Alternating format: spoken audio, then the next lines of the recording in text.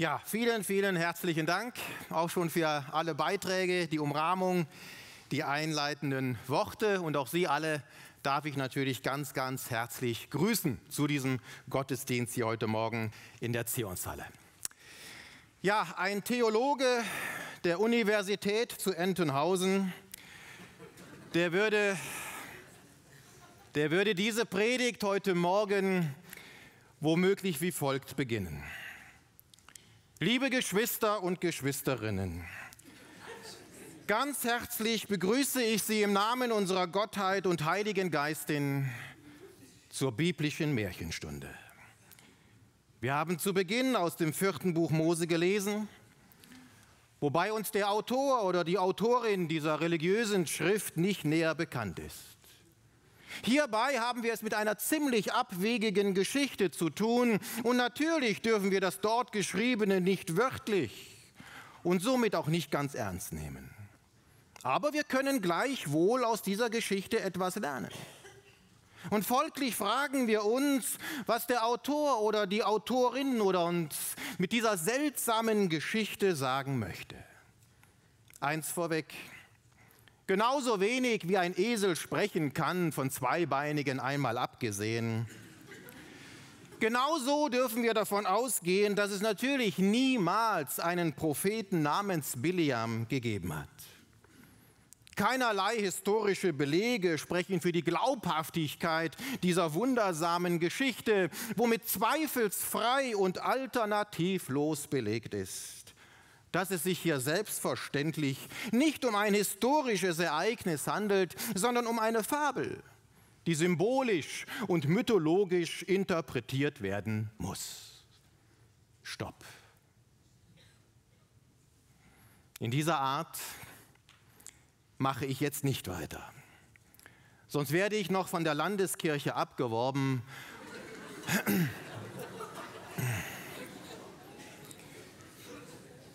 Ja, um sonntäglich das zu verkünden, was denen in den Ohren kitzelt. Also begebe ich mich wieder auf das Mitternachtsrufniveau, welches bedeutet, dass wir uns der Wahrheit zuwenden und wir die Bibel doch tatsächlich so nehmen, wie es geschrieben steht. Die Ältesten der Gemeinde können sich also wieder beruhigen und das Mikrofon kann zumindest vorerst noch angeschalten bleiben.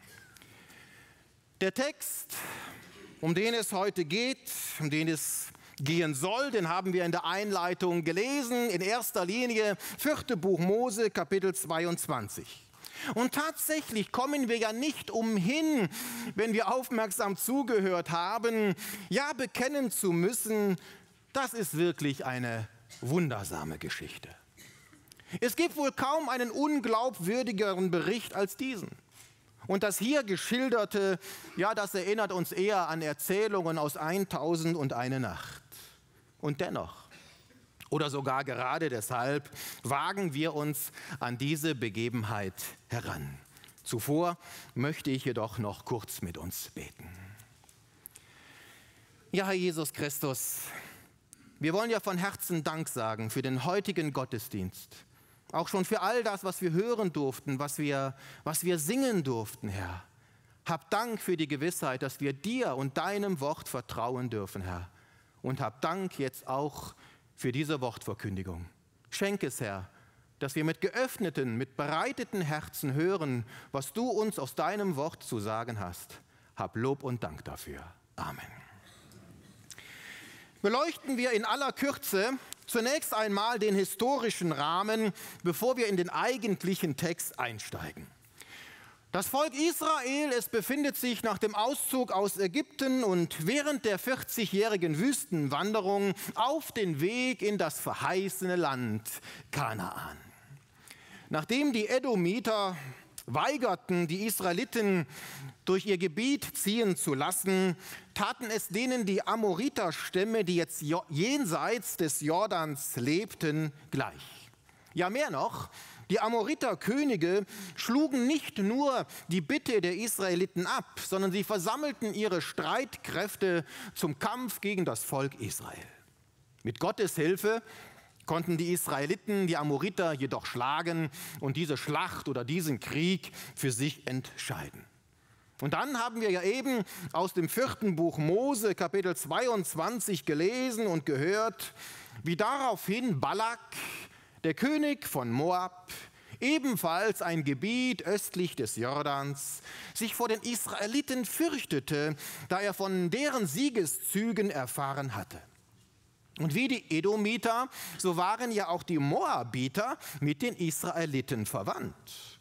Denn Moab wovon die Moabiter abstammten, war ein Sohn von Lot, dem Neffen Abrahams, nachzulesen im ersten Buch Mose, Kapitel 19. Und Gott hatte Mose zuvor geboten, die Moabiter jetzt während den Feldzügen auch zu verschonen. So heißt es im fünften Buch Mose, und das lese ich uns, fünfte Buch Mose, Kapitel 2, Vers 9, da spricht Gott zu Mose, du sollst Moab nicht angreifen und dich mit ihnen nicht in einen Krieg einlassen, denn ich will dir von seinem Land, dem Gebiet Moabs, ne, östlich des Jordans, keinen Besitz geben. Ohnehin hatte Israel gar nicht die Absicht, sich in Moab niederzulassen, geschweige denn gegen Moab Krieg zu führen, sondern Israel bat seine Verwandten lediglich jetzt auf den Weg hin in das verheißene Land um einen ungehinderten und friedlichen Durchzug. Nicht mehr und nicht weniger. Folglich war die ausgesprochene Angst des Moabiterkönigs vor einem möglichen Einfall Israels ja völlig unbegründet. Und irgendwie weist das alles Parallelen zur Gegenwart auf, wo die umliegenden Länder Israels ja mit der Staatsgründung Israels und ja auch schon zuvor sich sicher ebenfalls weigern, die Juden durchziehen zu lassen, beziehungsweise Juden unter sich wohnen zu lassen.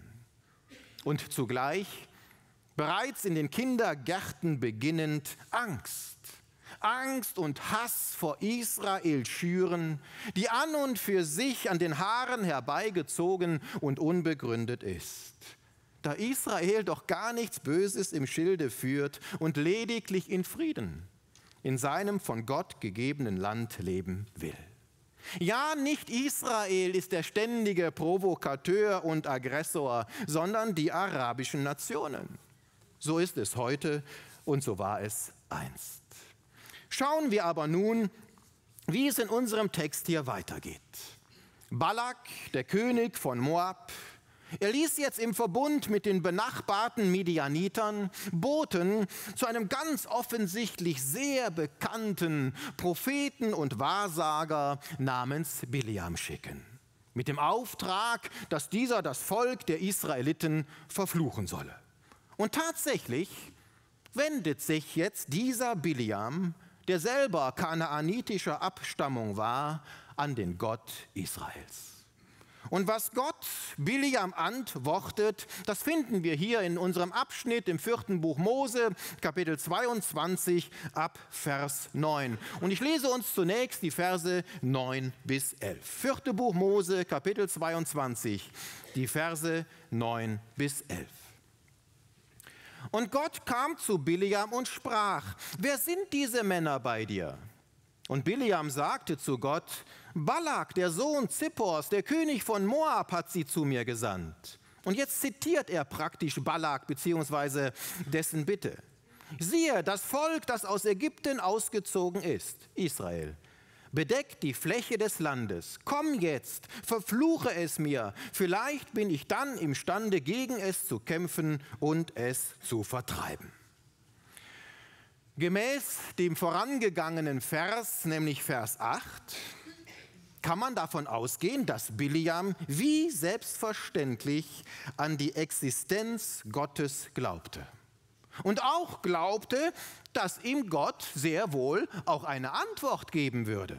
Lesen wir das, Vers 8, der Vers zuvor. Und er sagte zu ihnen, also zu diesem Boten, übernachtet hier diese Nacht und ich werde euch Antwort bringen, wie der Herr zu mir reden wird. Und die Obersten von Moab blieben bei Biliam. Und hier, und das gilt es zu beachten, hier gebraucht Biliam sogar Gottes Eigennamen. den Namen Gottes Jahwe. Denn er spricht hier, und ich werde euch Antwort bringen, wie der Herr, Jahwe, zu mir reden wird.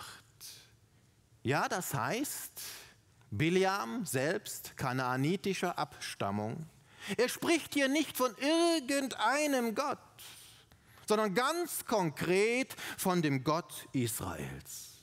Und in Vers 18, wenn wir dann diesen Sprung machen, als Balak dann ein zweites Mal Boten zu Biliam sandte, da setzt Biliam dem sogar noch eins drauf. Da heißt es nämlich dann in Vers 18, da spricht Biliam, und Biliam antwortete, Vers 18, und sagte zu den Knechten Balaks, wenn Balak mir auch sein Haus voller Silber und Gold gebe, könnte ich nicht den Befehl des Herrn, Yahweh, meines Gottes, übertreten. Ja, das lässt doch aufhorchen. Dass Biliam, ein Wahrsager kanaanitischer Abstammung und Wahrsagerei war und ist Gott ein Greuel. Gott abermals mit seinem eigenen Namen Jahwe anspricht und sogar noch hinzufügt, Jahwe, meines Gottes. Allein diese beiden Verse, die ich jetzt zitiert habe, ja, die würden doch vermuten lassen, dass Biliam an den einzig wahren Schöpfergott geglaubt hat.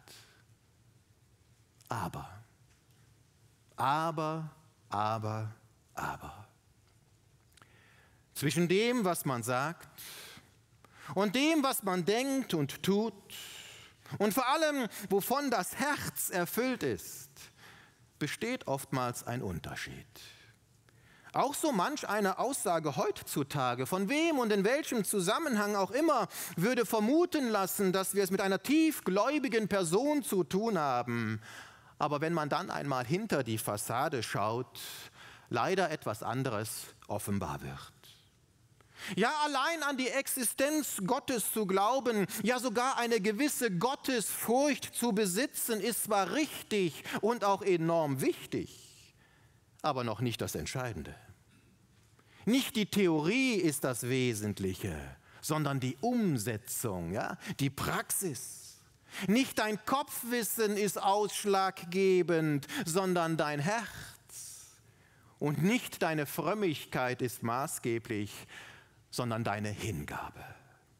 Biliam war ein praktizierender Magier und Wahrsager, wie wir es an anderer Stelle erfahren. Und er glaubte an die verschiedenen, an die verschiedenen Gottheiten der unterschiedlichen Nationen. Und so glaubte er sehr wohl auch, auch, auch an den Gott Abrahams, Isaaks und Jakobs. Aber wohlgemerkt auch und nicht einzig und allein. Für ihn war der Gott Israels ein Gott unter vielen, wenn auch ein besonders mächtiger Gott, dem Biliam auch durchaus zugetan war. Und so gibt es auch heutzutage gottesfürchtige Menschen, die auch an den Gott der Bibel glauben, aber in einem Atemzug auch alle anderen möglichen und unmöglichen Götter tolerieren und alles und jeden in einen großen Topf werfen und als religiösen Einheitsbrei verköstigen. Aber der Gott der Bibel ist kein Gott unter vielen, sondern ein eifersüchtiger und alleiniger Gott, dem einzig und allein die Ehre gebührt. Und das besagt im Übrigen auch der Ausdruck Eifersucht. Ja? Wenn wir im fünften Buch Mose beispielsweise im fünften Buch Mose lesen, dass Gott ein eifersüchtiger Gott ist. Da heißt es zum Beispiel in 5. Mose Kapitel 4, Vers 24, denn der Herr, Jahwe, dein Gott, ist ein verzehrendes Feuer und ein eifersüchtiger Gott.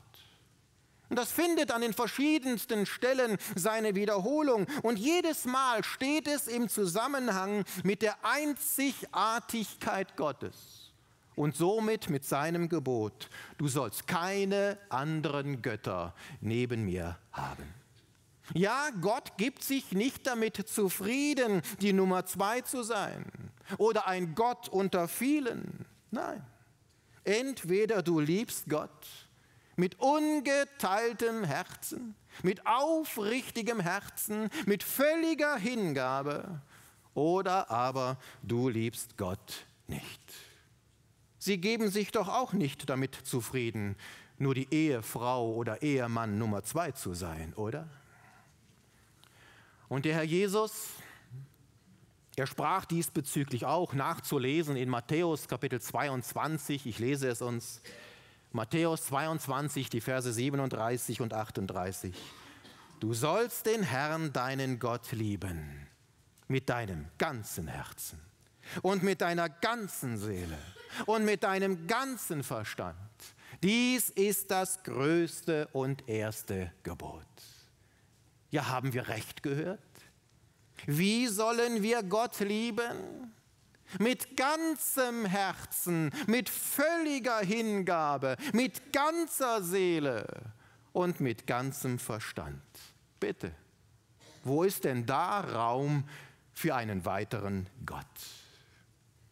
Alles andere als Gott allein die Ehre zu erweisen, ist geistliche Hurerei, auf die Gott nicht nur eifersüchtig, sondern sogar zornig ist. Wie ein verzehrendes Feuer, wie wir es eben im fünften Buch Mose gelesen haben. Und das steht doch jetzt im krassen Gegensatz zu diesem fatalen Geschwafel, dass Gott in seiner grenzenlosen Liebe alles stillschweigend erduldet und verzeiht. Welch ein Trugschluss, was für eine Lüge. Gott duldet nämlich keinen Ungehorsam. Und Gott verzeiht auch keinen geistlichen Ehebruch. Gott duldet keine Sünde und Gott verzeiht auch keinen Götzendienst, in welcher Art und Form auch immer. Und wenn Gott in seiner Liebe und Langmut dem gottlosen Treiben der Menschen auch lange und stillschweigend zuguckt, so lässt er sich dennoch nicht spotten. Und der Tag seines heiligen Zorns, der Tag seines gerechten Gerichts wird sich zu seiner Zeit über alle Menschen, Nationen und Völker ergießen. Und zwar über alle, die sich nicht in seinem Sohn Jesus Christus haben reinwaschen lassen. Denn einzig und allein, nur in Jesus Christus, hat uns Gott seine Liebe erwiesen. Und nur in dem teuren, kostbaren Blut des Herrn Jesus, welches er für uns am Kreuz von Golgatha vergossen hat, ist uns Vergebung zuteil geworden. Und auch das ist biblische Wahrheit, die jedoch selbst viele Christen nicht mehr hören wollen. Da geht es dann nur noch um Liebe und Toleranz. Und man vergisst und verdrängt, dass Gott ein heiliger, gerechter, zorniger und eifersüchtiger Gott ist, der keine Kompromisse duldet. Und es gibt nur einen Ausweg. Ja, es gibt nur eine Lösung, um dem gerechten Zorn Gottes zu entgehen und Frieden mit Gott zu erhalten. Einzig und allein in Jesus Christus. So wie es unter anderem im Römerbrief geschrieben steht, ich zitiere für viele, viele, viele andere Stellen lediglich mal zwei Verse aus dem Römerbrief. Römer Kapitel 5, Vers 1. Römer Kapitel 5, Vers 1. Da wir nun gerechtfertigt worden sind aus Glauben, so haben wir Frieden, Frieden mit Gott durch unseren Herrn Jesus Christus. Römer Kapitel 5, Vers 9. Vielmehr nun, da wir jetzt durch sein Blut, das Blut des Herrn Jesus hier am Kreuz von Golgatha, da wir nun durch sein Blut gerechtfertigt sind, werden wir durch ihn, also durch Jesus Christus, vom Zorn gerettet werden. Ohne Jesus jedoch stehst du unter dem gerechten und heiligen Zorn Gottes. Und da kannst du menschlich gesprochen noch so lieb und noch so tolerant sein. Nur Jesus allein versöhnt dich mit Gott und schließt Frieden zwischen dir und dem heiligen und wahrhaftigen Schöpfergott. Aber kommen wir darauf zurück, dass Bileam ja auf eine Antwort wartete. Und die Antwort des allmächtigen Gottes, ja, die ließ an Deutlichkeit nichts vermissen. Zurück ins vierte Buch Mose, Kapitel 22, Vers 12. Vers 12.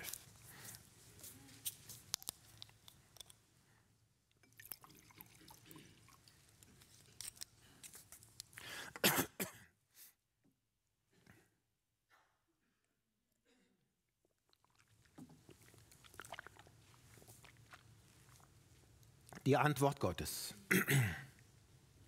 Und Gott sprach zu Biliam, du sollst nicht mit ihnen gehen. Du sollst das Volk, also Israel, nicht verfluchen, denn es ist gesegnet. Also die Antwort Gottes ist derart klar und deutlich, dass Biliam gar nicht anders kann, als sich dem Willen Gottes zu fügen. Ja, mit anderen Worten, Biliam kann Israel gar nicht verfluchen. Ja, warum nicht? Da Gott selbst beschlossen hat, sein Volk zu segnen. Und im weiteren Verlauf, dann in Kapitel 23, kommt das noch einmal klar zum Vorschein, in welcher, in welcher Biliam dann später bezeugen muss. Kapitel 23, Vers 20. Siehe, zu segnen habe ich empfangen ja, mit anderen Worten, Balak, du hast mich kommen lassen, damit ich das Volk Israel verfluche. Aber siehe, zu segnen habe ich empfangen, denn er, der Gott Israels, hat gesegnet und ich kann es nicht wenden. Biliam sagt hier im Übrigen nicht, dass er es nicht wenden will oder nicht wenden wollte. Er sagt, ich kann es nicht. Ich kann es nicht wenden. Ja, selbst wenn Biliam wollte, so könnte er Israel nicht verfluchen, weil kein geringerer als Gott selbst fest beschlossen hat, sein Volk zu segnen.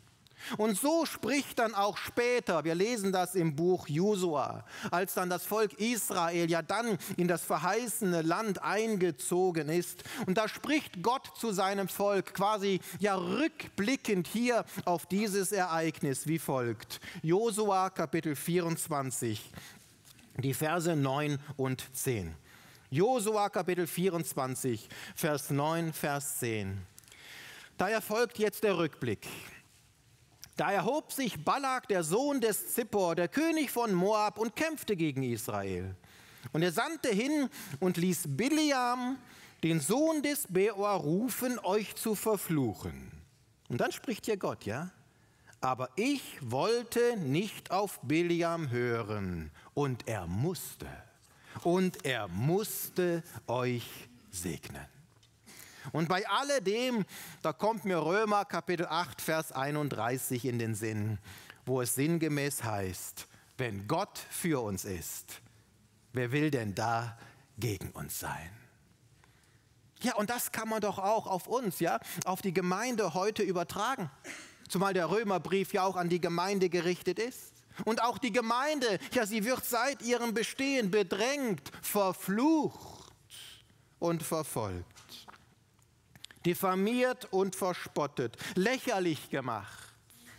Und dennoch, und dennoch ist die Gemeinde des lebendigen Gottes weltweit, ob in Nordkorea, ob in Nigeria, in Ägypten oder in der Schweiz, weltweit die Gemeinde des lebendigen Gottes nicht unterzukriegen und wird in Jesus Christus einen triumphalen Sieg davontragen. Denn wenn Gott für uns ist, wer will da gegen uns sein? Sind wir uns überhaupt dessen bewusst? was es bedeutet, wiedergeboren zu sein in Christus Jesus und was es beinhaltet, ein Kind Gottes sein zu dürfen. In Christus Jesus sind wir mit Gott versöhnt. In Christus Jesus haben wir Frieden mit diesem allmächtigen, heiligen Gott. In Jesus Christus stehen wir eben nicht mehr unter dem gerechten Zorn Gottes. In Jesus Christus sind wir Glieder an seinem Leib und von unserer Stellung her vollkommen gemacht. In Jesus Christus sind wir vor Gott gerecht gesprochen und mit ihm versöhnt. In Jesus Christus sind wir Sieger. Selbst in der größten Not und inmitten des schlimmsten Leides, weil wir wissen, was auf uns wartet, einst in der Herrlichkeit bei ihm. Und das ist Gnade, liebe Geschwister. Das ist Gnade, denn nichts von alledem haben wir uns ja verdient.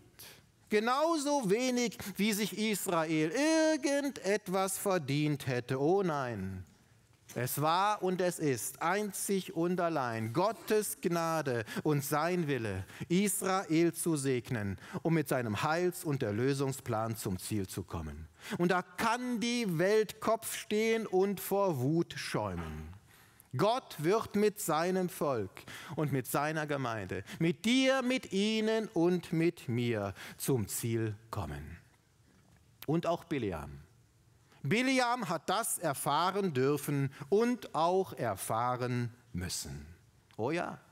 Für die einen ist es ein erfahren dürfen, für manch anderen jedoch auch ein erfahren müssen. Biliam, er glaubte ganz offensichtlich an Jahwe, wie wir bereits festgestellt haben. Er glaubte an den Gott Abrahams, Isaaks und Jakobs. Ach was, was sage ich sogar noch mehr? Er wusste, er wusste um den allmächtigen Gott Israels. Biliam wurde die Gnade Gottes vor Augen geführt. Er selber, er musste im Auftrag Gottes das Volk Israel segnen. Er wurde konfrontiert mit der Macht des Allmächtigen. Und dennoch kam Biliam zu Fall. Aber warum? Wie ist das möglich? Nachdem Biliam doch noch so eindrücklich sprach, ja selbst wenn Balak mir sein Haus voller Silber und Gold gäbe, so könnte ich nicht den Befehl des Herrn, Jahwe, meines Gottes, übertreten. Was nur? ließ Biliam zu Fall bringen.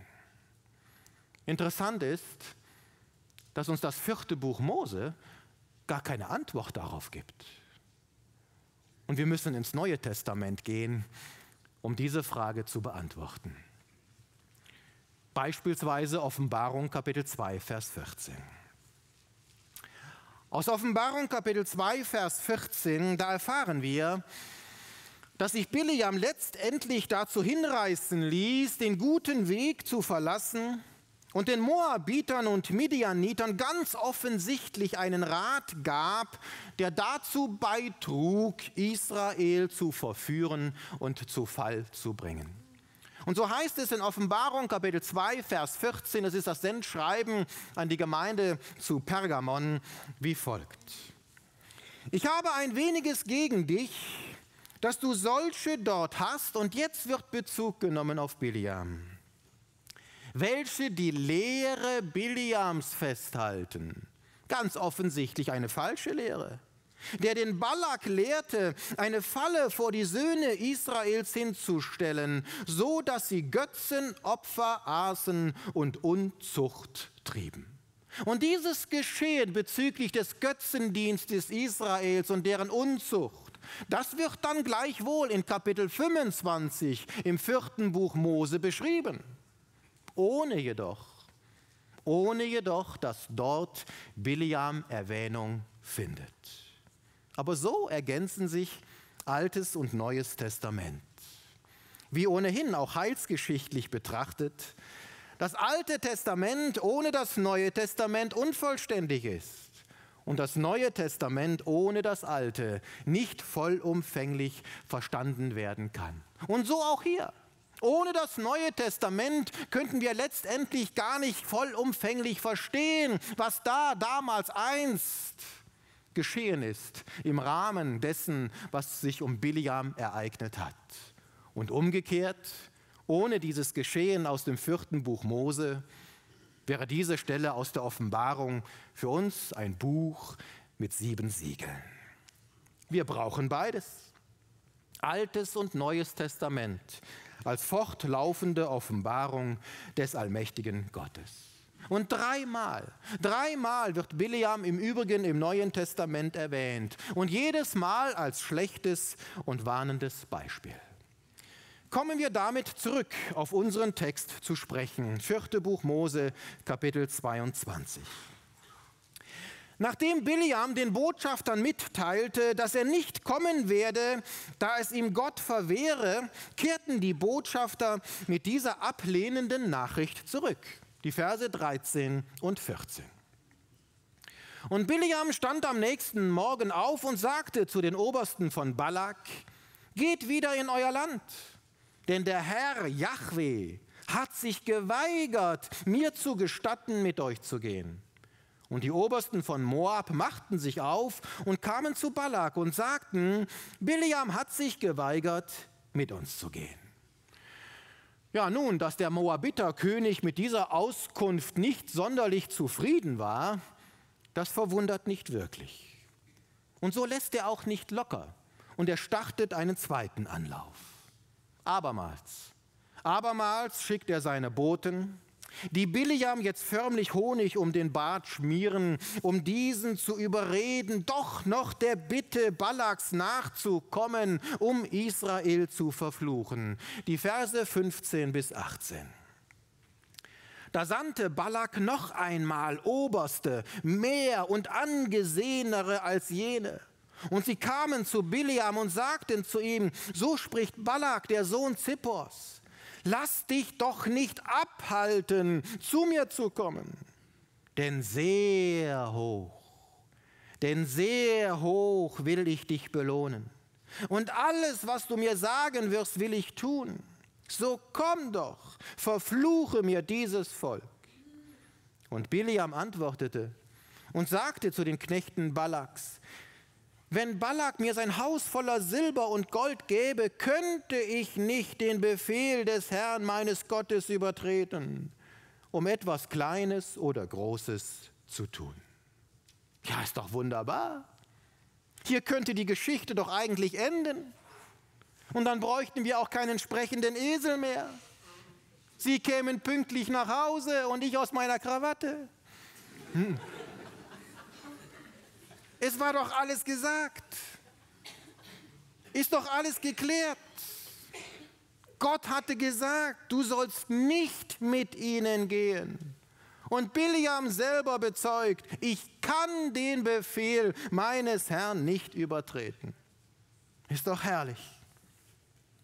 Genau so sollte es sein. Gott spricht und wir gehorchen. So einfach und doch so schwer. Denn wir haben es auch hier in dieser Geschichte nicht nur mit einem Esel, sondern auch noch mit einem Kamel zu tun. Ein Kamel namens Biliam. Vers 19. In unmittelbaren Zusammenhang, vorher noch dieses Zeugnis. Ich kann den Befehl meines Herrn nicht übertreten. Da kannst du mich überhäufen mit Geschenken. Ich kann es nicht. Und dann Vers 19. Da spricht Biliam zu diesen Boten. Und nun bleibt doch auch ihr hier diese Nacht. Ja, und am nächsten Morgen werde ich euch dann nach Hause schicken. Ne? Geht nicht, ich kann nicht kommen. Nein, nein. Und nun bleibt doch auch ihr hier diese Nacht. Und ich werde erkennen, was der Herr weiter mit mir reden wird. Warum? Warum befragt Biliam den Herrn ein zweites Mal? Obwohl doch Gottes Anweisungen nach der ersten Befragung klar und deutlich waren. Geh nicht mit ihnen. Verfluche das Volk nicht, denn es ist gesegnet. Ja, wäre es nicht besser gewesen, sich genau darauf zu berufen? Zieht Bileam mit seiner erneuten Befragung ja Gottes Wort womöglich in Zweifel? Ja, sollte Gott wirklich gesagt haben? Sollte er es wirklich so gemeint haben? Kommt uns das nicht irgendwie bekannt vor? Vielleicht hat Biliam auch einfach nur gehofft, dass es doch noch eine Möglichkeit gibt, gehen zu dürfen, zumal das Angebot von Balak sehr, sehr verlockend war. Vielleicht sogar noch verlockender als die Frucht im Garten Eden. Ich weiß nicht, was Biliam letztendlich bewog, Gott ein zweites Mal zu befragen. Aber erstaunlicherweise, und das überrascht mich wesentlich mehr, lässt sich Gott auch ein zweites Mal von einem heidnischen Wahrsager befragen. Und was Gott jetzt dem Biliam antwortet, ja, das irritiert mich vollends und wirft bei mir einige Fragen auf. Vers 20. Da kam Gott nachts zu Biliam und sprach zu ihm, wenn die Männer gekommen sind, um dich zu rufen, mache dich auf, geh mit ihnen. Aber nur das, was ich dir sagen werde, das darfst du tun. Ja bitte, warum erlaubt Gott jetzt dem Biliam zu gehen? Verführt Gott Biliam damit nicht sogar zur Versuchung? Ein erneutes klares Nein hätte es Biliam sicher auch einfacher gemacht. Ja, oder war das vielleicht sogar die Konsequenz aus dem Fehler Biliams, Gott erneut zu fragen und damit sein Wort in Frage zu stellen? Ja, war das womöglich gar eine Frucht seines geteilten, unaufrichtigen Herzens? So wie auch heutzutage. Gott uns manchmal einfach gehen lässt. Gott uns tun lässt. Und wo wir uns dann später nicht wundern müssen, wenn alles den Bach runtergeht. Gott weiß um die Folgen. Wenn wir nur mit geteiltem Herzen auf ihn hören und meinen, unsere eigenen Wege gehen zu können. Ja, weißt du vielleicht, tief in deinem Herzen, und du wirst es wissen, dass du nicht unverheiratet mit deinem Partner zusammenleben solltest und du tust es trotzdem? Weißt du? Tief in deinem Herzen und du wirst es wissen. Und hier weiß ein jeder von uns selber, was wir noch für Beispiele anbringen könnten, die auf uns zutreffen und wo wir uns hinterfragen sollten. Höre ich Höre ich wirklich mit ungeteiltem, mit aufrichtigen Herzen auf meinen Herrn und Gott? Ja, nehme ich sein Wort überhaupt noch ernst? Was immer der Grund war, warum Gott, warum Gott sich ein zweites Mal hat fragen lassen und warum er vor allem nun auch Biliam, Biliam die Erlaubnis erteilt zu gehen, so gibt Gott Biliam aber erneut eine klare Anweisung. Geh, geh mit ihnen. Doch nur das, was ich dir sagen werde, nur das darfst du tun. Erneut spricht Gott Klartext und ich habe den Eindruck, als würde Gott hier sagen, gut, gut, Biliam, gut. Wenn du unbedingt gehen willst, so gehe. Aber nur das, was ich dir sagen werde, nur das kannst du tun. Ja, und das, was jetzt folgt, das kriege ich gar nicht mehr auf die Reihe. Denn nun kommen wir zu dieser unglaubwürdigen, wundersamen und schier unglaublichen Geschichte mit dem sprechenden Esel. Wobei die Bibel ja von einer Eselin spricht, ne? was die Sache ein bisschen glaubwürdiger macht.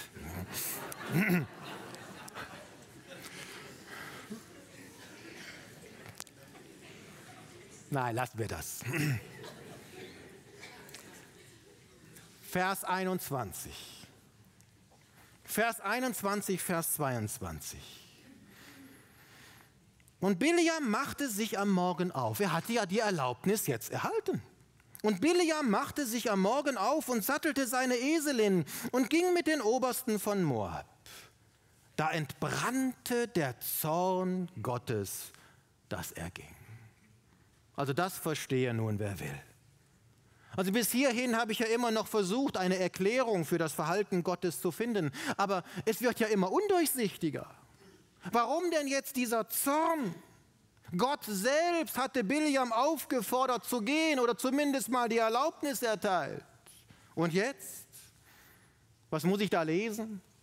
Da entbrannte der Zorn Gottes darüber, dass er ging. Ja, das klingt doch hochgradig widersprüchlich. Einmal Hü und einmal Hott. Erst darf er nicht gehen, dann soll er gehen und als er dann geht, ist Gott voller Zorn. Und da soll man sich noch wundern, wenn so manch einer nichts von Gott wissen will und sein Wort in Frage stellt. Nun, vielleicht kann uns Vers 32 eine Antwort auf dieses höchst widersprüchliche Verhalten Gottes geben. Vers 32, machen wir diesen Sprung. Zwischendrin fing ja der Esel an zu sprechen und so weiter und so fort, da kommen wir noch drauf. Und hier in Vers 32, da spricht der Engel Gottes zu Biliam und somit letztlich Gott selbst. Vers 32, warum hast du deine Eselin nun schon dreimal geschlagen? Siehe, ich selbst bin ausgegangen, um dir entgegenzutreten. Und jetzt kommt die Begründung. Denn der Weg stürzt dich ins Verderben vor mir. In einer anderen Übersetzung heißt es, denn dein Weg ist ganz gegen mich gerichtet. Oha. Sieht Gott etwas, was wir nicht sehen? Wir sehen ja immer nur das, was vor Augen ist. Ne? Wir würden hier denken, nun ja, also Biliam macht doch nichts anderes als das, was Gott ihm aufgetragen hat. Aber Gott sieht weiter. Gott sieht weiter als wir. Und nicht nur weiter, sondern vor allem auch tiefer. Gott sieht die Zusammenhänge. Gott sieht in unser Herz hinein. Gott kennt auch unsere Motive und Beweggründe. Gott weiß. Gott weiß, warum du heute Morgen hier im Gottesdienst sitzt, ob du freiwillig gekommen bist, voller Inbrunst und Freude oder mit so einem Gesicht. Nein, bitte, nicht schon wieder Gottesdienst. Gott weiß. Gott weiß, wo du auch jetzt in diesem Augenblick mit deinen Gedanken bist. Gott sieht nicht nur dein Äußeres, sondern mitten in dein Herz hinein. Werde ich Ihnen zu persönlich? Wird es unangenehm? Geht mich ja schließlich auch gar nichts an. Gut, Gott weiß, dass auch ich nicht immer aufrichtig bin. Gott weiß, dass auch mein Herz nicht immer vollumfänglich bei ihm ist. Gott weiß, dass auch ich im Gottesdienst und in der Gebetsstunde manchmal nur körperlich anwesend bin. Gott weiß. Um dich und um mich. Und wie peinlich wäre es, wenn auch sie alles über mich wissen würden. Und umgekehrt kommen wir schnell wieder auf Biliam zu sprechen. Es ist doch viel einfacher, auf ihn zu deuten und ihn als Kamel zu betiteln, als uns an die eigene Nase zu fassen. Williams Motiv war es jedenfalls nicht, Gott zu loben, zu loben und dessen Namen zu rühmen, sondern er sah die Möglichkeit, sich als den großen Propheten und Wahrsager zu präsentieren, der er auch ganz offensichtlich war war ja der Moabiterkönig, weder Kosten noch Mühen scheute, um Biliam für seine Zwecke anzuwerben. Und Balak, er sprach ja auch über diesen Propheten namens Biliam, nachzulesen in Vers, äh, Vers 6 zu Beginn dieser Begebenheit in Vers 6. Ja, denn ich habe erkannt, wen du segnest, der ist gesegnet. Und wen du verfluchst, der ist verflucht. Oh ja, Biliam genoss einen guten Ruf. Er war berühmt und über, ein über die Grenzen hinaus bekannter Prophet. Ein Mann mit Vollmacht und schon fast überirdischen Fähigkeiten. Ja, vielleicht sogar mit dem Teufel im Bunde. So dass er sich später noch nicht einmal über einen sprechenden Esel verwunderte. Aber Biliam ging es nicht einzig um den Ruhm sondern ganz offensichtlich auch ums liebe Geld. Ich hatte gesagt, dass Biliam im Neuen Testament dreimal erwähnt wird.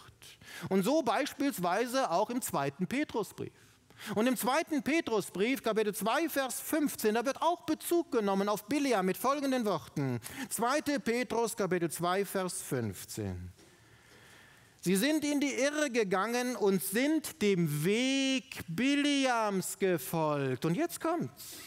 Der den Lohn der Ungerechtigkeit liebte. Auch wieder ein Detail, was uns der Textabschnitt aus dem vierten Buch Mose gar nicht schildert. Biliam, der den Lohn der Ungerechtigkeit liebte, ja, Biliam ließ sich ganz offensichtlich zu guter Letzt von dem hohen Lohn, den ihm Barak in Aussicht stellte, verlocken. Ja, Biliam war vielleicht sogar guter Dinge dem Gott Israels, dem er durchaus zugetan war, und dem Moabiter-König gerecht zu werden. Aber kann man denn wirklich zwei Göttern dienen? Denken wir daran, Gott ist ein eifersüchtiger Gott. Und der Herr Jesus, er sprach selber auch, ja, äh, niemand kann zwei Herren dienen. Nachzulesen in Matthäus Kapitel 6, Vers 24. Da sagt der Herr Jesus, niemand kann zwei Herren dienen, denn entweder wird er den einen hassen und den anderen lieben, oder er wird dem einen anhängen und den anderen verachten. Ihr könnt nicht Gott und dem Mammon dienen. Biliam, du musst dich schon entscheiden. Du kannst nicht Gott dienen und dem Moabiterkönig. Entweder oder. War es das, was Biliam letztendlich zu Fall brachte? Sein geteiltes Herz und die nicht zu widerstehende Geld- und Ruhmesliebe? Weiter hier in unserem Text. Vers 22. Wir hatten es gelesen, da entbrannte der Zorn Gottes, dass er ging und dann geht es weiter. Und der Engel des Herrn stellte sich in den Weg, um ihm entgegenzutreten. Er aber ritt auf seiner Eselin und seine beiden Diener waren bei ihm. Und die Eselin sah den Engel des Herrn mit seinem gezückten Schwert in seiner Hand auf dem Weg stehen. Und die Eselin wich vom Weg ab und ging auf den Feld weiter, und Biliam schlug die Eselin, um sie wieder auf den Weg zu lenken.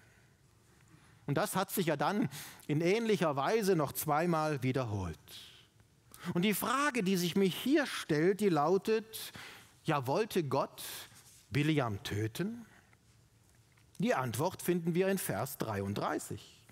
Als der Engel des Herrn zu Biliam spricht, Vers 33. Und die Eselin sah mich und wich vor mir aus, nun schon dreimal. Wenn sie nicht von mir ausgewichen wäre, dann hätte ich dich jetzt erschlagen. Wollte Gott Biliam töten? Ja. Da stellt sich mir aber die nächste Frage. Wieso erkannte ein Esel den Engel des Herrn und rettete dadurch Biliam das Leben? Ja, das klingt doch nicht nur unglaubwürdig, sondern auch noch widersprüchlich. Wollte Gott Biliam töten oder nicht? Und wenn ja, ja, was ist das denn für ein Gott? der sich seinen Plan von einem Esel durchkreuzen lässt? Ja, diese Frage ist provokant, klingt schon fast gotteslästerlich. Aber versuchen wir diesen Knoten zu lösen. Und diese provokante, ja, und blasphemisch anmutende Frage zu beantworten. Wollte Gott Biliam wirklich töten? Ja, wir haben es gelesen. Ja, aber warum hat Gott es dann gewirkt, dass ein angeblich so dummer Esel den Engel des Herrn erkennt und Biliam, der ganz offensichtlich dümmer als sein Esel war, somit das Leben rettet. Nun, wie es möglich ist, dass ein Tier Gott erkennt, das lasse ich hier einmal unerwähnt, weil es schließlich noch schräger, verrückter und unglaubwürdiger wird nämlich spätestens ab dem Zeitpunkt, wo der Esel nicht nur mal kräftig IA macht, sondern wie ein Mensch zu sprechen beginnt. Doch dazu später. Aber warum hatte Gott einerseits die Absicht, Biliam zu töten und doch zugleich seine Rettung ja nicht nur zugelassen, sondern sogar selber bewirkt? Denn eins sollte ja mal klar sein, dass letztendlich nicht der Esel Biliam das Leben gerettet hat, sondern Gott selbst.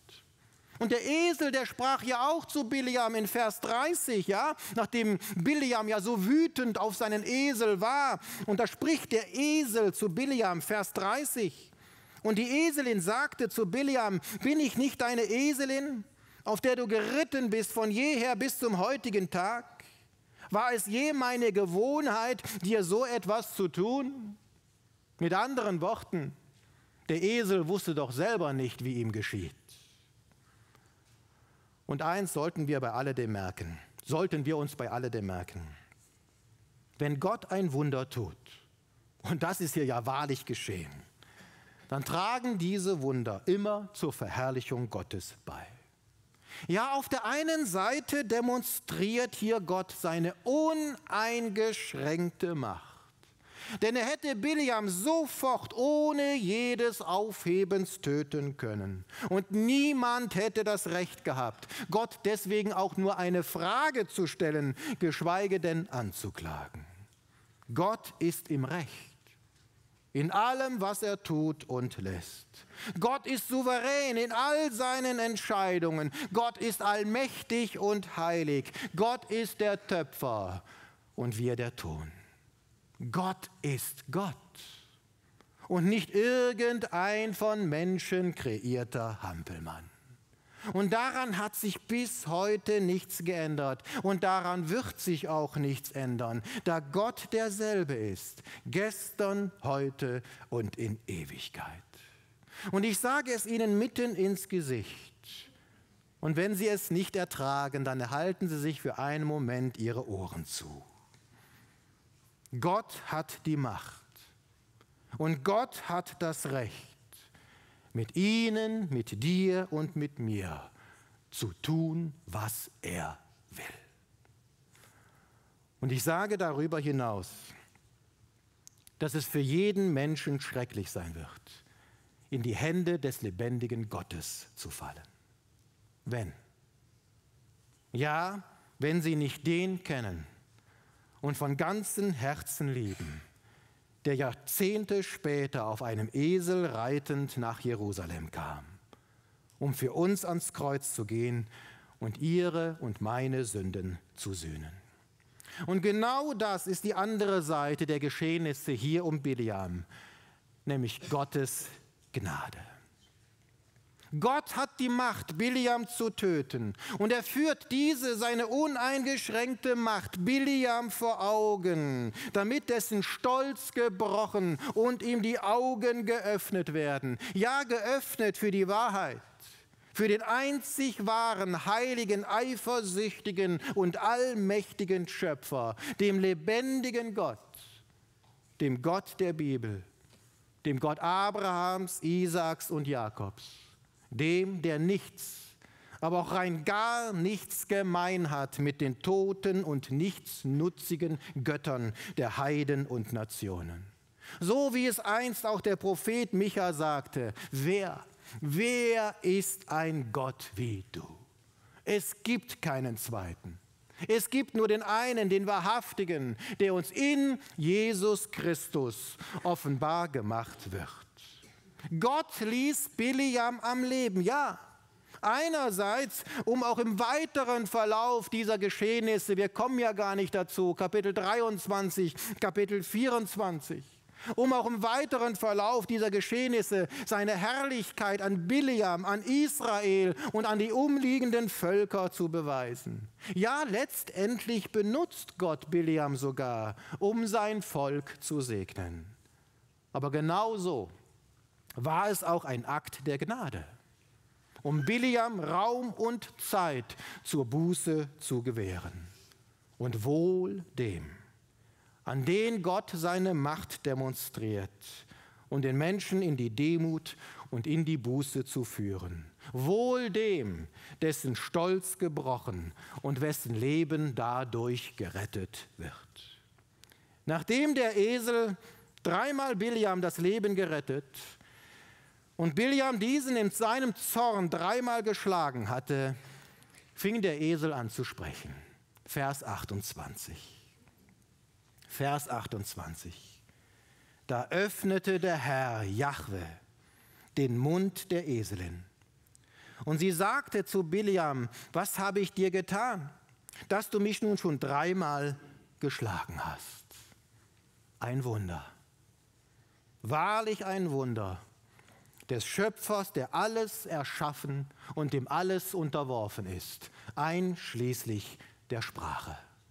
Und im Neuen Testament, da wird dieses Wunder ja auch bestätigt. Das vergessen viele.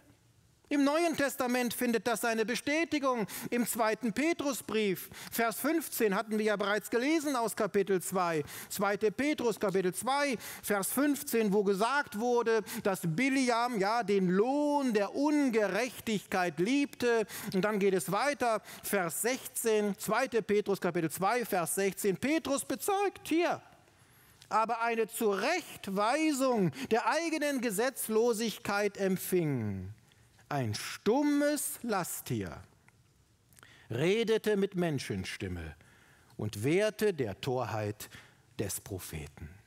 Hier handelt es sich also nicht um eine alttestamentliche Fabelgeschichte, oh nein, hier handelt es sich vielmehr um ein von Gott gewirktes, fabelhaftes und einzigartiges Wunder, das im Neuen Testament seine Bestätigung findet.